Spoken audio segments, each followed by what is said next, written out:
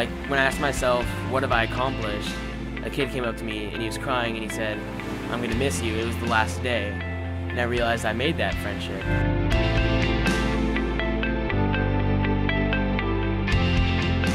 It teaches me how to be a lot more grateful for what I have. I mean, the people that live here, they they really don't have anything. You see people living like on the streets. Uh, there's actually tree houses and people live in them. It really makes me realize how thankful that I am. Even though back home I may not have it all either.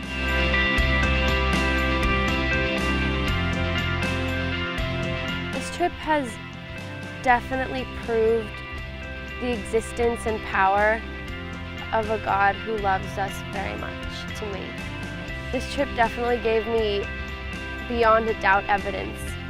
I mean, the kind of evidence that you only hear about in stories and think that never really happens. We flew with our 103 people, uh, landed in Manila uh, early, early on a Monday morning, get 103 people into hotels, get everything settled, and that night we had our first meeting.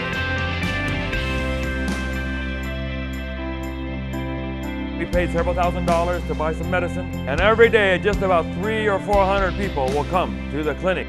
Craziness, lines of people, people having teeth taken out. Then after three or four hours, that would begin to die down, and they would pack up and then do it again the next day. We're here today because we're doing a medical mission and uh, we're here at downtown Santa Cruz. Here, as you can see, we've probably already seen maybe over 200 patients this morning. We're helping young people all over, getting better, get healthier. And that's fun too, all right? We are here now in Laguna Provincial Jail and we are having baptism. We would like to praise the Lord for almost 70 souls who accepted you as their personal saviors. There's people of all kinds here, I asked. There's murderers, thieves, rapists. The moment they came out of the water, as far as God was concerned, those sins are gone. As far as the east is from the west and the bottom of the ocean.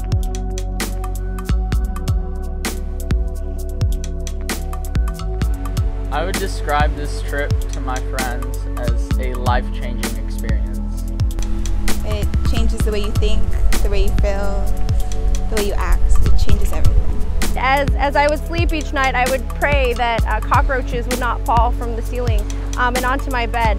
Um, and then I realized shortly after that that was probably not the thing I should be praying about on this trip. Started praying more for the people, for the work that we were doing um, and for, for just the amazing blessings that, um, that ended up happening, um, I attribute to prayer.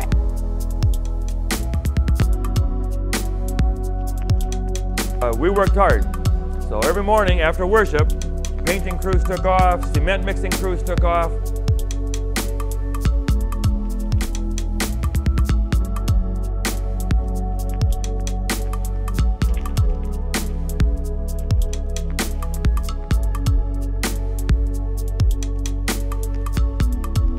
see how, um, you know, how people gave their life to Christ.